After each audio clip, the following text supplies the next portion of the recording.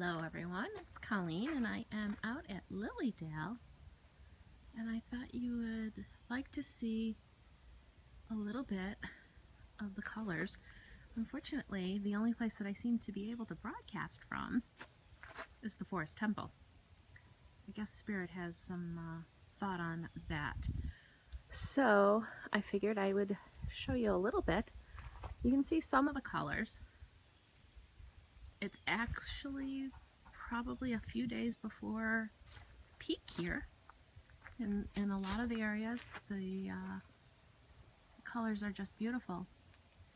So I wanted to talk a little bit about fall and some of the messages that I've been getting about fall and what people are dealing with with changes and how difficult they are.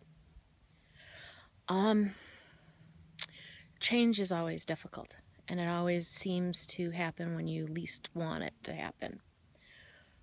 But there's a beautiful thing about change. If you enjoy the moment of the change, it will be better. How do I know this? I'm going through a lot of changes myself. And those changes are okay. A little scary. Uh, like all changes, you don't always know what's going happen and if it's going to be good or bad. But that's okay. What all you have to do is go through the change. Because you know, like the seasons, uh, things change and they get better. And sometimes they get a little worse and then they get better again. And I guess fall is a good time to start something new. And that's kind of what I'm doing starting new things. Uh, everybody attributes that to spring, but fall also has that aspect of renewal, and you can see all the different trees and what's going on with the world.